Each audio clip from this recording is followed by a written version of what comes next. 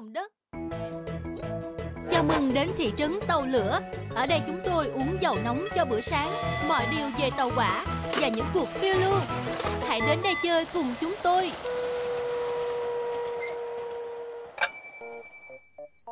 Trời cao, mây xanh, trời cao, mây xanh, trời cao, mây xanh. Ai bị? Là cậu. À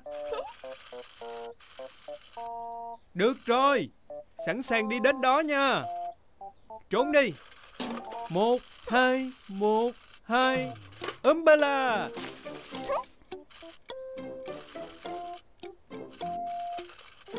Mọi người đi đâu vậy? À ha À ha, thấy rồi nha. Coi mình tìm được gì nè? Wow. À. Ethan Mau gọi mọi người đi. Ừ. Wow. Wow. Cậu biết không, đường hầm này không có trên bản đồ đâu. Các cậu ơi không biết là nó sẽ dẫn chúng ta tới đâu đây ha Đừng mà các cậu Đường hầm này cũ lắm rồi Sẽ nguy hiểm lắm đó. Chúng ta về nhà thôi. Không có gì nguy hiểm hết đâu. Nhìn ở đây đi. Ừ. Thấy chưa Cậu đã làm gì vậy Ờ, Nè không sao đâu Đừng có đẩy Bình tĩnh đi nha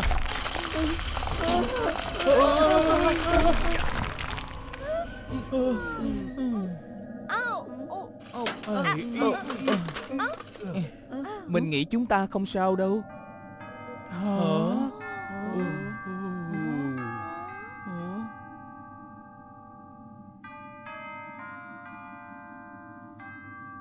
Ôi trời, chúng ta đang ở đâu vậy?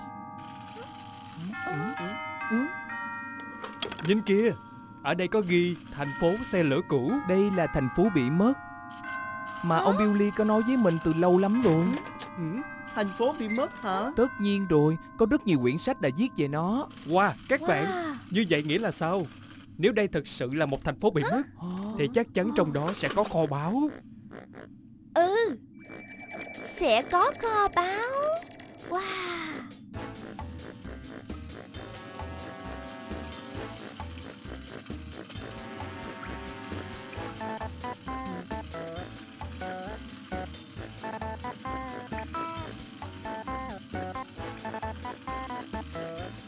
Ủa? Ồ nhìn kìa Kho báu kia kìa ừ. Mở ra đi, nhanh lên ừ, ừ.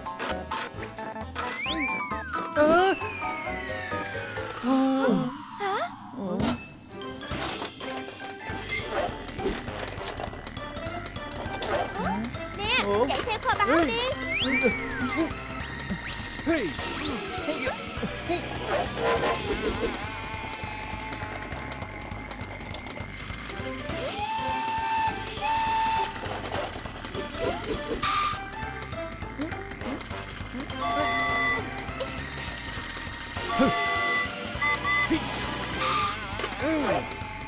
Mình sẽ bắt nó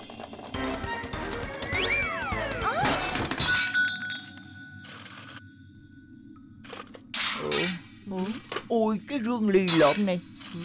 Có gì vậy? Một vài bản vẽ và phụ tùng máy móc xe lửa Một bộ sưu tập rác rưởi. Còn kho báu Ở trong đó có kho báu không? Hmm, Không có. Ồ, Đây là những bộ phận đầu máy xe lửa đầu tiên đó. Cái này còn quý giá hơn vàng nữa đó các cậu ạ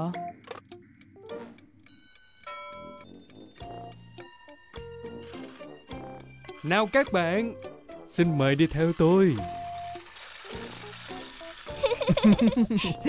Đây là hướng dẫn viên đầu tiên của chúng ta đó. Chào bạn thân ơi, cùng nhau ta lái xe nào. Mình đôi mai là bạn thân ở nhà bạn. Nhìn kia phía trước, đường đi lý thú siêu kỳ thế nên đừng dừng nhé Đừng chờ nhé mình đi. Hãy chạy xa ta, đang đi rất nhanh nè. Tăng tóc trời đã qua Nào yêu nhau vui chơi qua hết bao ngày Chúng ta sẽ học cùng ca, cùng mơ với trời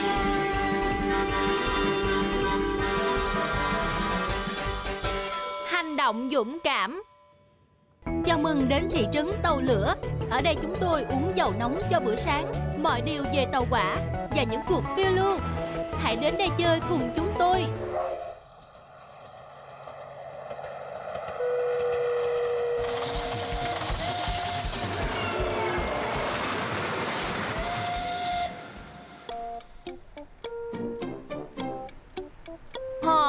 Thật là tiếc ta không được phép tham gia cuộc đua đường phố. Ờ thì cậu biết là chúng ta vẫn còn nhỏ mà Và bố mẹ sẽ lo lắng cho chúng ta lắm luôn á À hả, người lớn thì muốn làm gì cũng được Nào là thức khuya nè Lại còn được tham dự cuộc đua đường phố nữa Khi nào tôi lớn lên Tôi sẽ trở thành một tay đua siêu tốc cho xem Yeah. Yee-hoo.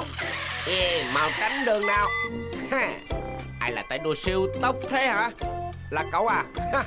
Cậu còn không đua thắng một con rùa nữa là. Còn lâu nha Có cậu mới không bằng con Tớ rùa. sẽ sẵn sàng đua với cậu bất cứ lúc nào. Cậu có muốn ca không? Ha, Cậu sợ đúng không? Hay sao? Đồ nhát Hả? gan. Tớ không phải là đồ nhát gan nha Tớ sẽ chạy đua với cậu tới cuối con đường Và rồi quay ngược trở lại. Ha, Ha, Y Thành à, tớ không nghĩ đó là ý hay đâu. Bắt đầu thôi. Quýt sao để Ờ. bắt đầu đi À.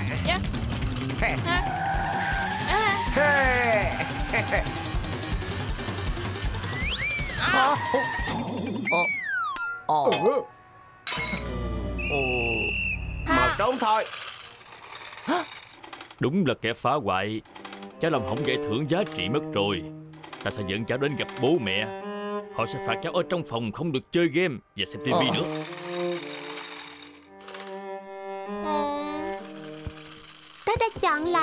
ngon nhất luôn đó. Hy vọng là George sẽ thích nó. Ừm. George ơi! George ơi! Chào các cậu. Cậu sao rồi? Bố mẹ cậu bảo sao hả? Ờ, bố mẹ tớ bảo tớ không được phép đi chơi với bạn bè nữa. Nhưng mà bố mẹ không nói gì về việc các cậu tới đây gặp tớ mà cho nên tớ nghĩ ờ, Chúng mình muốn làm cho cậu vui vẻ lên một chút. Ethan à, thật ra thì tớ cũng không có muốn gặp đâu. Cậu mới là người làm dở giải thưởng. Vậy mà tớ lại là người chịu phạt. Tớ nghĩ cậu phải nói sự thật cho mọi người biết. Nhưng Nhưng Nếu thế tớ sẽ bị phạt mất Và tớ. Các cậu có thể vào nhà Và giúp tớ làm vài thứ quan trọng nha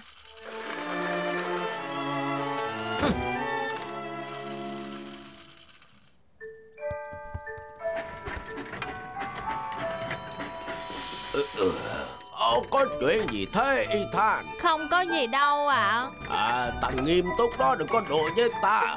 Ta là con ngựa sắt đã từng chiến đấu trong chiến tranh đó. Ờ, Ta thấy cháu đã có chuyện bộ mà. Để ta nghe mọi chuyện coi nào. Ta ờ, ta sẽ nghĩ cách Cháu giúp. mới là người đã làm hỏng giải thưởng Nhưng Sọt mới là người bị phạt vì chuyện đó. Và bây giờ cháu không biết mình phải làm gì. À, Ta chỉ muốn nói là à, Nếu cháu đã gây ra chuyện gì đó à, Thì cháu là người phải chịu trách nhiệm cho việc mình làm đó. Kể cả đó là chuyện sai trái đi nữa. À, Thật là bất công nếu như người khác phải gánh tội cho việc làm sai của cháu. À, Cháu có hiểu lòng đó không? À, và không bao giờ được sợ sệt đâu cháu nha Chuyện là vậy đó. Cháu đã kể hết mọi chuyện chú nghe rồi. Cháu mới chính là người đã làm hỏng giải thưởng. Hãy tha lỗi cho Sọt nha Làm ơn đi mà. Hmm. Làm tốt lắm Ethan. Cháu rất dũng cảm đó.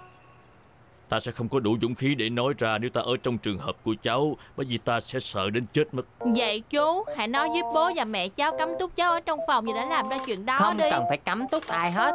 Chúng tớ đã làm lại một giải thưởng mới rồi Thậm chí nó còn đẹp hơn cái cũ. Mình lại là bạn tốt của nhau nha Ethan Đương nhiên rồi.